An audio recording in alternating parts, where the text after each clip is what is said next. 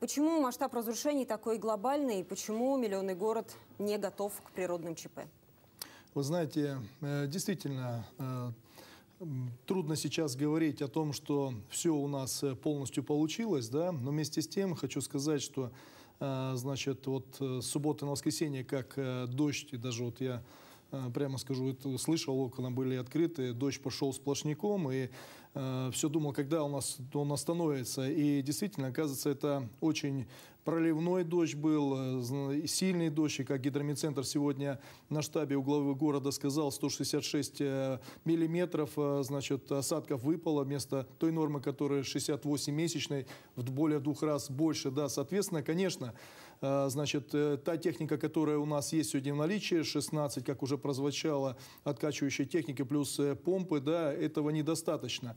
Но вместе с тем, как раз и был для этого уже в 10 утра создан штаб, глава города на базе именно администрации железнодорожного района. Почему в администрации железнодорожного района? Потому что там больше у нас пострадавших жителей.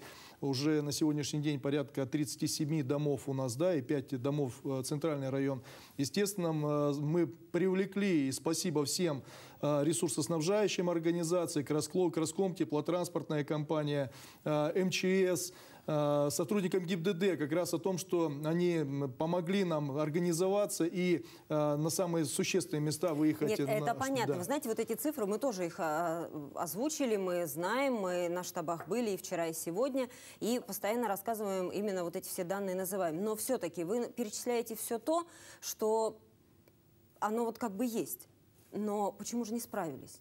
Получается, что ресурсов не хватает – я уже еще раз повторюсь, да. вы совершенно... Почему 16 машин? Может быть, надо Значит, больше? Или... Вы, вы совершенно правы. Значит, город у нас растет, развивается, и, конечно, и количество улично-дорожной сети увеличилось э, практически за последние э, 5 лет на 3,5 миллиона квадратных метров. Да? И поэтому, конечно, нужны больше техники, тем более сейчас 14 единиц техники мы практически закупили. Сейчас, я думаю, что ситуация э, улучшится. А что значит Но практически тем, закупили? Ну, проведены конкурсы, сейчас оформляется, оформляется эта техника, становится а на баланс. А когда она все придет? Мы думаем, техника? что в течение 15 дней она появится То на улице города. Как как-то, в общем-то, готовились к осени, Мы, да? Просто ливень конечно, был раньше, чем пришла техника. Конечно, конечно. Ну, а то, что э, действительно на сегодняшний день это большие выпали осадки, это мы видим реально, и сложно что-то этому противопоставить. Раз уж вы сами э, заговорили первым э, делом про технику,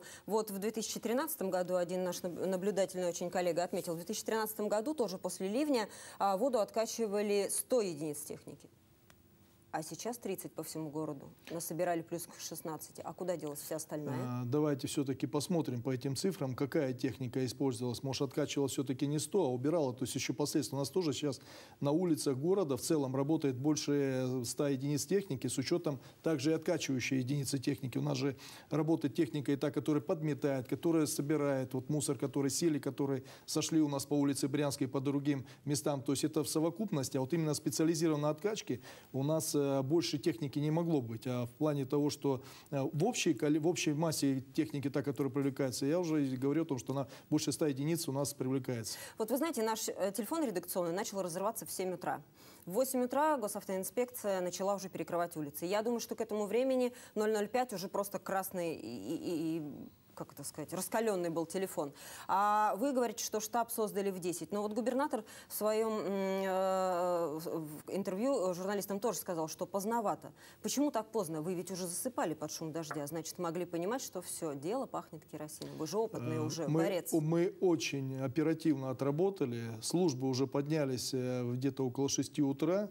Э, значит, естественно, э, максимально были мобилизованы силы, те, которые у нас в наличии есть, и, соответственно, приступили сразу по всем э, работам, работам, которые необходимы. В первую очередь мы направлены были на те места, и это правильно, я попрошу еще раз вот это акцентировать, о том, что наиболее пострадавшие районы.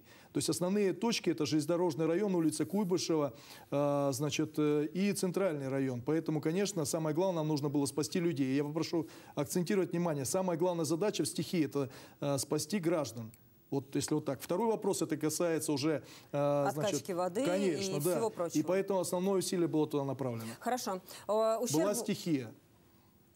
ущерб городскому имуществу как-то хотя бы примерно уже э, оценен? Хотя бы, ну, там, дороги, здания, муниципальные здания какие-то? Э, на сегодняшний день проводится ревизия. Еще раз э, акцентирую внимание, что основное, основная задача главой города была поставлена, это, конечно, э, спасение жизни людей.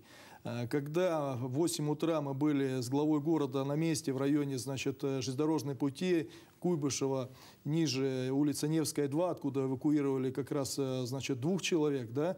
И, конечно, мы увидели, какое положение дел. Спасибо спасателям, значит, проходили по всем домам, как раз смотрели о том, что, не дай бог, кто-то окажется в этих домах. Конечно, это основное. И туда были основные силы направлены. Это основное. И, конечно, сейчас поступает заявление в управления социальной защиты районов, чтобы тот ущерб, в первую очередь, который материальный, э, значит, был нанесен жителям, раз. А второе, мы сейчас уже ревизируем то, что в целом, какой ущерб нанесен дорогам, э, различному имуществу городскому, и также у нас есть вопросы по многоквартирным домам. Ущерб не подсчитан, я правильно понимаю? Пока нет такой. Приблизительный пока а, цифры. Знаете, журналистов называют дилетантами широкого профиля, и, э, может быть, сейчас мой вопрос прозвучит по-дилетантски, но с точки зрения горожанина. Вот смотрите, ливни у нас такие с последствиями бывают в Красноярске ежегодно. Я не так давно живу в Красноярске, но верю своим коллегам. И каждый раз приходится восстанавливать дороги, каждый раз приходится там, э, ну, может быть, не вводить режим ЧС, но там компенсировать людям что-то, да, вот сейчас режим ЧС ввели. А может быть, если сложить вот этот весь ущерб, так может ливневку на, это, э, на эти деньги можно построить сколько-нибудь сотен километров? Или? Вопрос правильный. Нужно все делать, а, значит, э, параллельно. То есть нужно и строить ливневки, у нас более 180 километров, но этого не хватает. И последние, значит, буквально три года при строительстве, допустим, проспект э, Свободный, значит, э, полностью строительство ливневки было. У нас Дубровинского ливневка строилась. Затем у нас вот сейчас проспект Мира делается, да, то есть, кстати, тоже, наверное, в сетях выкладывали, видели И эти том, построенные что, справились? Значит, а эти построенные справились справились. Да. Но есть проблемные места, которые инженерная инфраструктура, она все-таки, значит, по финансово затратная. И вот мы сейчас, допустим, планируем, как раз вот получается у нас проблемные места, это железнодорожников 17, как раз вот и, если идет проспект Свободный, ниже улица Северная, нам необходимо дальше продолжать на железнодорожников 17. Эти места мы видим, знаем и поэтапно. И Семафорная под Мичуринским мостом. Семафор, семафорная, совершенно верно. И совершенно верно другие. что? Совершенно Там верно, что нужно строить ливневку, да. А будет построена там ливневка? Значит, мы сейчас как, раз, как раз под, э, значит, проводим ревизию с районов, собираем все данные, которые есть, которые у нас. 47 у нас участков таких опасных возникло э, значит, в ходе вот этого ливня. Некоторые не повторились, да, и, соответственно, мы Некоторые готовим... повторились? Некоторые повторились. То есть Причем... там можно было строить ливневку Там нужны этого. средства, чтобы строить. Там нужны средства, чтобы строить. Поэтому сейчас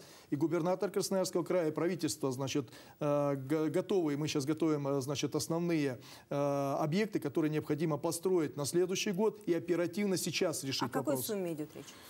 Ну, хотя Предвар... Предварительно, что касается вот, устранения и оказания помощи гражданам, это в пределах э, всего, вот именно в период ЧС, 10-15 миллионов рублей. Что касается, э, значит, на следующий год выделения средств, чтобы устранить э, вот те места, где особо у нас опасные, э, когда у нас такие заторовые э, вопросы возникают по, ли, по линию канализации в пределах, э, значит, 70-100 миллионов рублей. 70-100 миллионов. Режим ЧС во сколько обходится городу? Вот сейчас?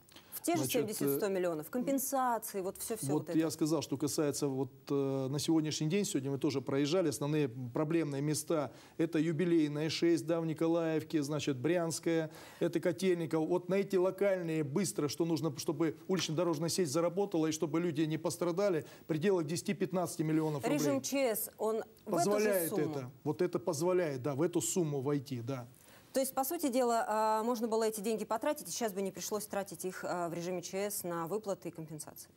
Э, значит, э, нужно, э, у нас много, я уже говорю, что инженерных сетей, которые, значит, десятилетиями на сегодняшний день уже имеется износ, и, конечно, сразу средств мы таких не найдем, но, по крайней мере, на сегодняшний день уже четко обозначены те места, на которые необходимо срочно решать. И с помощью ЧС ряд, ряд вопросов будет снят. Будет снят. Хорошо. Да. Вот знаете, кто, кто виноват, есть такой у нас все время вопрос э, в России, э, мы на него стараемся ответить. Все-таки вот за то, что случилось в воскресенье, кто в городе, кто в ответе? Только стихия? Или все-таки не доработали, где-то чего-то не доделали, неправильно решили?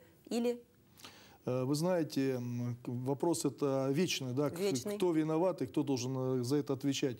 Я думаю, что значит, период вот именно чрезвычайной ситуации, который э, сегодня произошел, да, произошла чрезвычайная ситуация и в городе объявлено, на самом деле видно да, все те вопросы, которые требуют решать немедленно, немедленно. И, конечно, значит, здесь мы разбираемся, опять же, значит, насколько у нас эффективно работает откачивающая техника, да, схватает или нет, как вы говорите, да, значит, мы общаемся с взаимодействующими органами, здесь еще раз говорю, при всем при том мы, как говорим, есть и хорошо, есть и плохо. Еще раз говорю, хотел поблагодарить, поблагодарить те ресурсоснабжающие организации, которые благодаря им то же самое, и ГИБДД, ситуацию пришлось держать на контроле. У нас люди все-таки не пострадали, это главное, это главное. Затем понятно, что вопросы по имуществу и так далее. Поэтому после режима КЧС будет проводена, проводена проверка, естественно, если кто требует или заслуживает наказания, будет, будет наказан. наказан. Но люди в основном, говорю, несмотря ни с личным временем, и, значит, все службы, которые отвечающие за жизнедеятельность, работали полностью. Да. Полностью. Игорь Петрович, Но ваш... и природа-то нас все-таки, вот давайте так, по стране-то, где уже сколько ливней прошло, нас как и нас стороной обходило. Поэтому мы должны к этому быть готовы. И не обошла. У вас что-то пострадало от дождя? Лично у меня да. нет. Нет, вам повезло. Другой вопрос, такой на будущее, перспективный. Как считаете, через сколько лет Красноярск, в Красноярске удастся все-таки переживать такие ливни без потерь для города? Сколько нужно лет? 10, 20? А, давайте, вот вы давайте. вопрос прямой говорите, да, значит, ну, еще раз говорю, что погода меняется. Такое, такого, таких осадков не было, да, но вместе с тем, чтобы, по крайней мере, город был готов э, к, такой, к такой непогоде, ну, думаю, что э, года три нужно. Года три. Да. Это очень оптимистично у вас. Спасибо ну, вам за... по крайней мере, такие надежды есть.